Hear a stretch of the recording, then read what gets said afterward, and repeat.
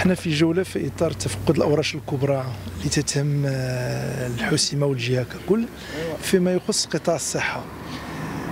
آه، كاين واحد آه، فيما يخص المستشفيات والبنيات التحتية والتجهيزات البيوطبية بالضبط 520 مليون درهم 520 مليون درهم.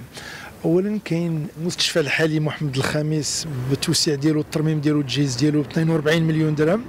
اللي غيتزايد فيه طب النساء والتوليد غيتزايد فيه طب الأطفال جراحة الأطفال جراحة الكبار وغيتزاد فيه طب المواليد 42 مليون درهم اللي غيتحل الجزء الأول أواخر هذا الشهر والجزء الثاني أواخر الشهر الجاي.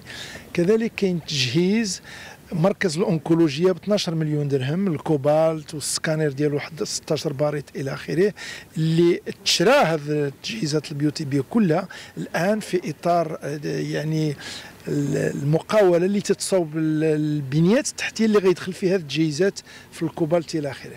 كاين كذلك بناء وتجهيز مستشفى محلي ديال امزورن 45 سرير بغلاف مالي 63 مليون درهم.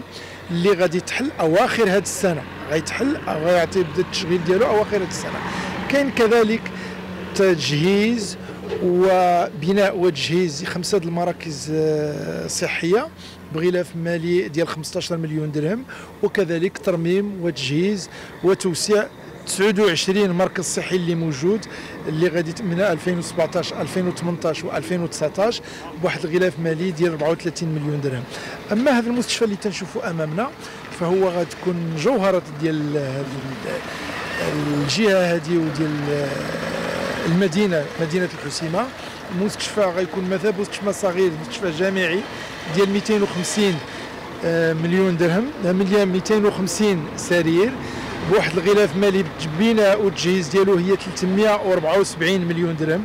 374 مليون. غيكون فيه جميع التخصصات فيما يخص الجراحة فيما يخص الطب فيما يخص الأطفال فيما يخص المواليد فيما يخص الولادة. وغيكون فيه من أحسن التجهيزات على الصعيد الوطني من سكانير من لياغي من آخره